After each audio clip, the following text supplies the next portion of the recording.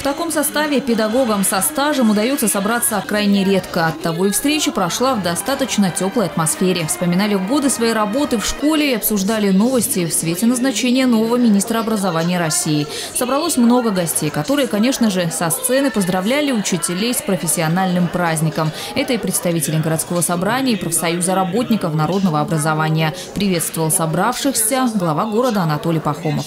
Действительно, это самый замечательный праздник, потому что самый дорогой человек у каждого, у каждого молодого человека, да и потом, это учитель.